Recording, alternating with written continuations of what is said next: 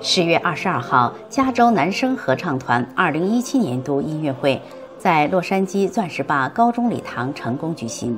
圣盖博士市议员廖清和和前圣马力诺市市长孙于金代表阿罕布拉市市长沈世康为男声合唱团颁发了贺状。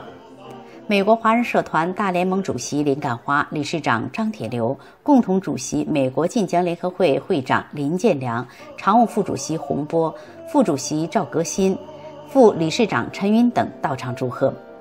洛杉矶爱好音乐的各界侨胞和代表五百多人观看了音乐会。加州男声合唱团及友情赞助单位 L.A. 女子声乐坊等为大家带来了耳熟能详的中外歌曲。为你歌唱，儿行千里，天边茅草屋，康定溜溜的城，美丽的草原，我的家，我爱你，中国，祖国慈祥的母亲等经典歌曲。在加州，在美国也是唯一一家华人社区男生合唱团，呃。在洛杉矶有上百家合唱团，但是我们这个合唱团呢是唯一一支非常有影响力的这么一支合唱团。有一些人呢，呃，由于工作情况还有出差呢，有十几个人没有到场，也非常遗憾。加州男声合唱团是洛杉矶唯一的全部由男性组成的合唱团，成立两年来得到社会各界的支持和帮助。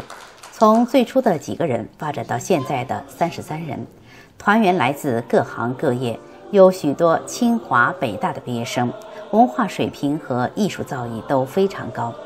他们虽然是业余团体，但水平已经基本达到了准专业的水准。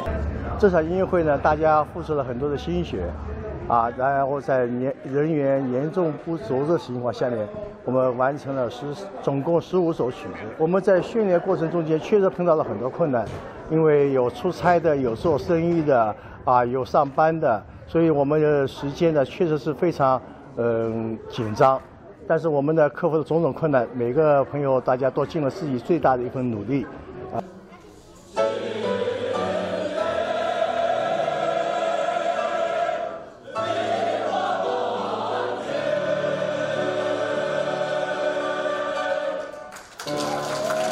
华夏电视台记者钻石爸采访报道。